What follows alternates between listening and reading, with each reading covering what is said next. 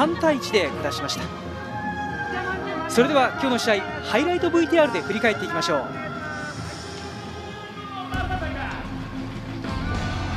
木下マイスター東京対岡山リベッツの今シーズン3度目の対戦。舞台は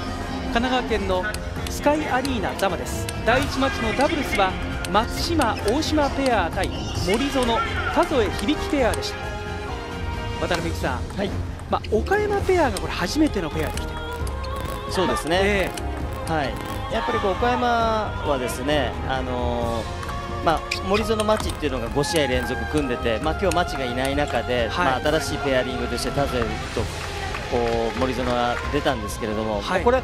まあ、やり方としてもあの良かったですよね、はい、あのやっぱりこう負け続けているところに同じことをやるよりもやっぱ選手他にもいますからこのように新しいペアリングでチャレンジしてでそれを岡山がこれ勝ったってことは、はい、一つこれは岡山リベツにとっての、まあ、大きな収穫になったと思います、はい。まあ、全勝だったこの松島、大島ペアに、まあ、土をつけましたからね、まあ、そうですね、まあ、ただこの2人のペアも安定して強いですから、はい、まあ、これからまた勝ち星を上げていくんじゃないかなっていうのが、まあ、想像できますね。はい。第2マッチからシングルスの戦いです。吉田正樹、木下。そして岡山リベツは龍崎トンインですまあ、似たようなタイプの対決だったという渡辺さんのお話ですね、ねはい、戦術的に似たようなことをこうやっぱ、まあ、同じ同タイプですので、まあ、特にその中でもこう使っていくこの両者の対決の中で途中でやっぱりこ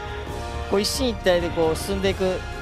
ゲームもあったんですけれどもやっぱ吉田がですね、はい、龍崎が早く攻めたいというところをこうワンテンポこう待ってですね。で龍崎の足を止めて攻めたやり方この辺りがこう戦術的にも技術的にも光ってたなと思いますね、はい、はい、その辺りで後半に点数取れなかった龍崎がやっぱりちょっとこう苦しんだ。こういうような内容だったと思います。吉田が龍崎をストレートで下してマッチカウント1対1になって第3マッチです、まあ、木下画面の奥が及川そして画面の手前谷垣優馬。こちらは T リーグデビューとなった18歳の愛工大名電高校3年生です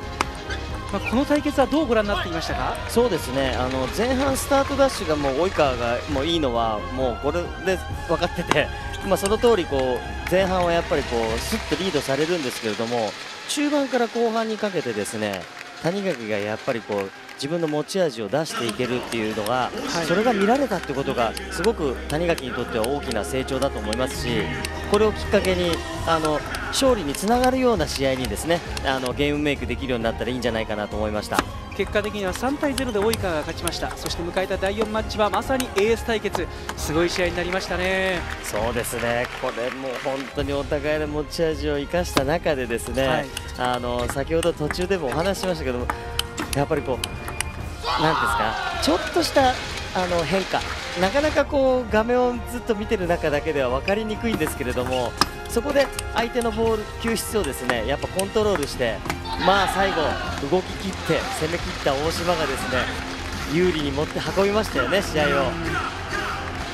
まあ、互いに本当にあのサーブが強いと言いますかね。そうですねサービスエースやっぱりこう取ってる選手同士ですね。やっぱりこうサービスエース光りましたし、はい。まあ、この5ゲーム目